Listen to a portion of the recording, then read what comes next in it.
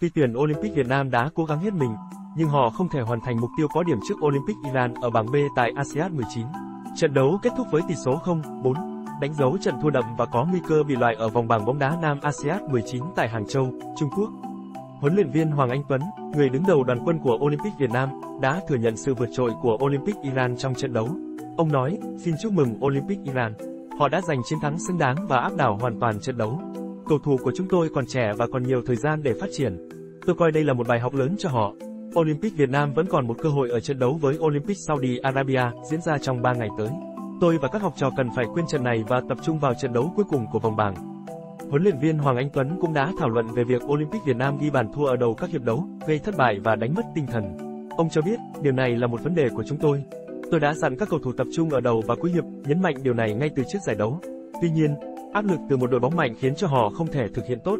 Đội cần phải kiểm soát trận đấu từ những phút đầu để tránh những sai lầm tương tự trong tương lai. Dù sau trận thua đậm trước Iran, Olympic Việt Nam đối diện với nguy cơ bị loại ở vòng bảng, huấn luyện viên Hoàng Anh Tuấn đã khẳng định rằng đội tuyển vẫn kiên trì theo đuổi chiến lược trao cơ hội tối đa cho các cầu thủ trẻ để họ có thêm cơ hội trưởng thành. Ông nói, đây là dự án chiến lược của VFF. Chúng tôi đã đưa các cầu thủ trẻ đến đây với tư cách đội hình trẻ nhất trong giải đấu này. Chúng tôi cần thời gian, cần giải đấu này để các cầu thủ thách thức bản thân và phát triển kỹ thuật. Tầm nhìn của chúng tôi là dài hạn, cho cả năm sau và nhiều năm tiếp theo, với sự tập trung vào chiến dịch vô.